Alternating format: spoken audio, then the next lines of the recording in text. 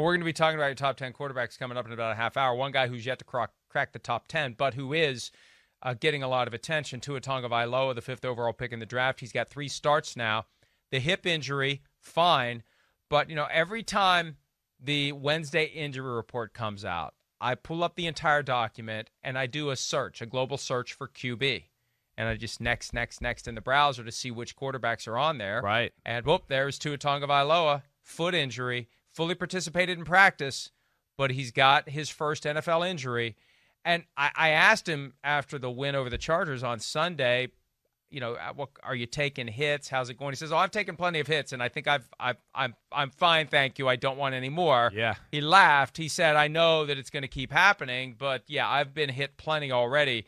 And something happened on Sunday that caused his foot to be injured to the point where he's getting treatment on it. See, that's how a guy who fully participates in practice ends up on the injury report because he's in the training room and there's a record of him getting treatment. They have to disclose it at that point. If you don't, that's when you get busted by the league. So there's something up with the foot. We don't know which one. Didn't say left or right, but he's got a foot injury, Chris, and uh, I think he'll keep playing. Yeah. But you have to you have to watch and Well, wonder. yeah. You know, as he takes more contact, will he get to a point where he has to miss some Yo, time? You're right. Well, and we know he's he's had some lower leg injuries, you know, in his college career. So that's where you're a little just, you know, cautious. He's got injury history. We know that.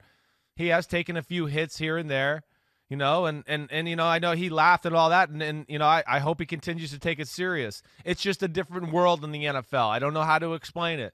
When you run the ball in college, you feel like oh whoa i got i'm tucking the ball away i might be able to do something here even a big lumbering you know stiff like myself used to take off in college every now and then and go whoa i'm going to get 10 12 yards here look at this in the nfl the second you cross the line of scrimmage you're like whoa they're coming at me from everywhere and they're mad as hell and they want to kill me. And it's just it's a different league and you got to be careful. And he's not going to get away with some of the stuff he got away with in the SEC and we know he didn't even get away with it there. So that's he's been pretty good so far of not taking those big hits and i just would say that to him because i'm rooting for the kid. I like the kid a lot. Get down get out of way throw the ball. No one's going to call you a chicken if you slide or do anything like that.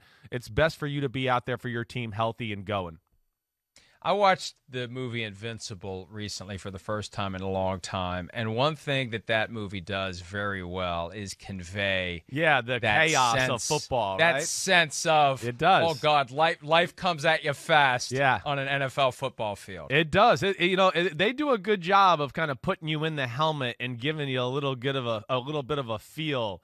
Uh, because that's what it is. I mean, you got a helmet on and it's running and people are yelling and you know it's shaking and you know that's that's the way it is, especially for the new guys. Now, you know Patrick Mahomes and Aaron Rodgers, they're probably seeing symphony and everybody's going in slow motion because they're so awesome. That's what the good players have. But at first, it is pure chaos.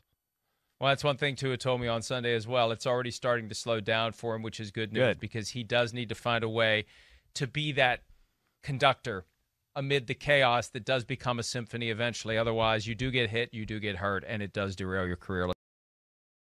Hi, I'm Mike Tirico, and thanks for watching. Make sure to hit subscribe for the latest news and highlights from NBC Sports.